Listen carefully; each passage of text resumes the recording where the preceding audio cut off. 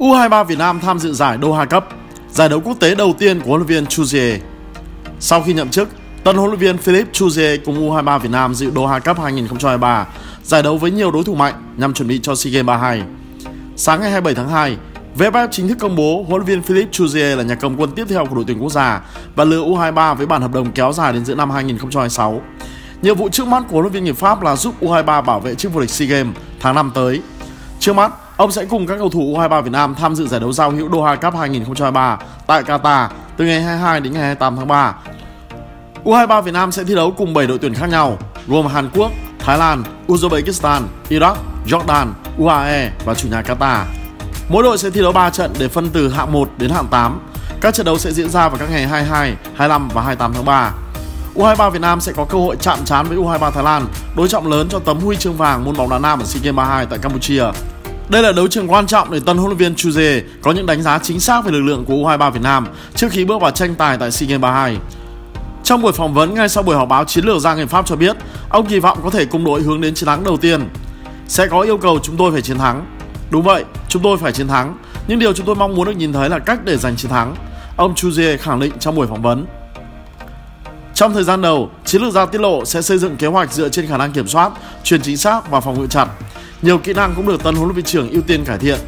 Tôi muốn các cầu thủ sẽ có liên tiếp năm đường truyền chính xác. Họ cần phòng ngự như một khối vững chắc, biết cách đoạt được bóng ngay trong chân đối phương và biết làm thế nào để đá phạt góc, căng ngang hay sút bóng. Chiến lược gia sinh năm 1955 chia sẻ, Tân thuyền trưởng nhận định Doha Cup 2023 là giải đấu bản lề để U23 Việt Nam hướng đến thành công tại SEA Games 32, nhưng sai lầm của các cầu thủ vẫn là điều có thể chấp nhận. Chuzier cho rằng đây là cách ông giúp các học trò bớt tâm lý lo lắng. Ông mong các cầu thủ trẻ có thể học được nhiều bài học và bản lĩnh hơn từ chính sai lầm. Tôi hy vọng các cầu thủ không lo lắng. Khi mắc sai lầm, chúng ta mới biết sai ở đâu để còn chỉnh sửa. Điều đó giúp các cầu thủ có thêm kinh nghiệm và sẽ không mắc lại những lỗi cũ. Ông Chuzier nói như vậy.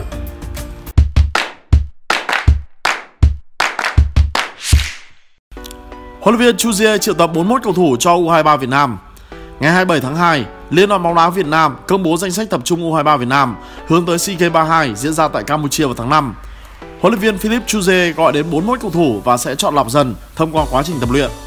Ngày 1 tháng 3 tới, đội tuyển U23 Việt Nam sẽ hội quân đợt đầu tiên để chuẩn bị cho các nhiệm vụ trong năm 2023.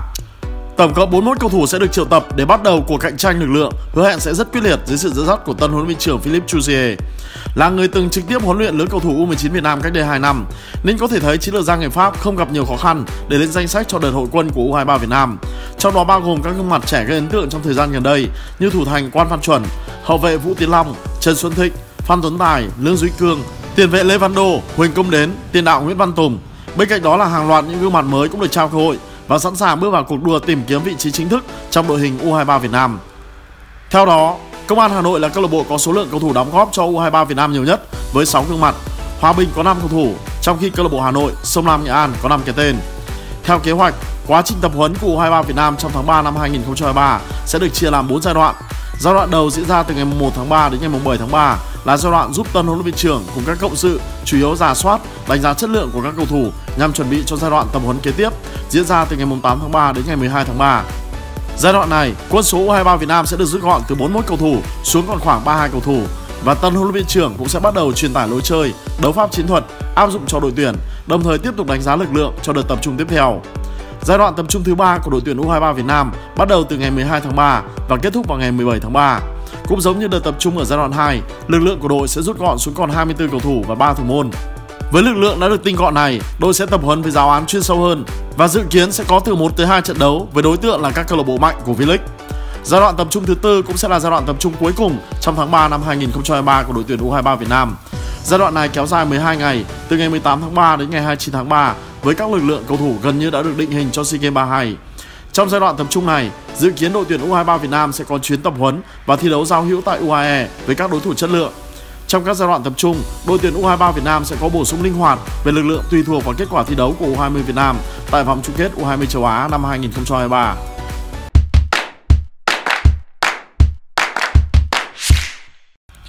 Huấn luyện viên Chuzier muốn vượt qua giới hạn của ông Park Hang-seo. Trong buổi phỏng vấn mới nhất, huấn luyện viên Chuze đã có những chia sẻ về người tiền nhiệm Park Hang-seo. Huấn luyện viên Park đã giành những thành tựu tuyệt vời trong năm năm qua, đặc biệt là châu Á. Khi tôi chấp nhận nhiệm vụ này là làm thế nào vượt qua những giới hạn của ông Park, chuẩn bị thử thách ở cấp độ cao hơn. Tất nhiên, chúng ta phải giữ vững vị thế mà bóng đá Việt Nam đã đạt được. Xin được nhấn mạnh lại, chúng ta cần chuẩn bị sẵn sàng tinh thần đối diện với thử thách các đội bóng chất lượng hơn nữa. Tôi không bắt đầu từ con số 0. Người tiền nhiệm của tôi, huấn luyện viên Park Hang-seo đã để lại di sản về một đội tuyển giàu tính cạnh tranh. Cùng với đó, lợi thế về kinh nghiệm đã làm việc ở Việt Nam trước đây là tài sản quý báu cho tôi hướng đến những nhiệm vụ sắp tới. Khi biết mục tiêu của VFF là World Cup 2026, tôi đã nhận lời. Đó không phải là một con đường bằng phẳng, sẽ có sóng gió, nhưng với thể thức mở rộng của World Cup, bóng đá Việt Nam sẽ có cơ hội. Chắc chắn chúng ta có những khó khăn. Với kinh nghiệm của tôi, tôi học được từ những gì khi trải qua khó khăn. Không có gì là không thể cả. Tôi đến đây không chỉ một mình, xung quanh tôi còn có sự hỗ trợ khác nhau. Tôi là người dẫn đường với huấn luyện viên trưởng trong 3 năm trước đây. Trước tôi hay sau khi tôi rời cương vị, đã và sẽ có người tiếp tục dẫn đường. Tôi sẽ đối mặt với thử thách trên con đường. Tất nhiên, sẽ có lúc chúng ta sẽ phải rẽ lối, vượt qua sóng gió, nhưng không quên mục đích sau cùng. Qua đây, tôi muốn gửi tới anh chị một vài tóm tắt như sau. Tôi đã rất quen với cách làm việc ở Nhật Bản, Qatar và Trung Quốc. Tôi mong muốn từ người phiên dịch không chỉ là ngôn ngữ mà còn là ý đồ triết lý của tôi. Như mọi người đã biết, trong quá trình làm việc, tôi đã dẫn dắt 8 đội tuyển khác nhau trên thế giới và có gì có mặt ở World Cup, Olympic, các giải đấu châu Phi với tổng cộng hơn 200 trận quốc tế. Tất nhiên, khi dẫn dắt đội tuyển Việt Nam là thử thách, tôi sẽ sử dụng kinh nghiệm của mình để chia sẻ, góp ý với lãnh đạo VFF, các cầu thủ để đưa bóng đá Việt Nam lên tầm cao mới.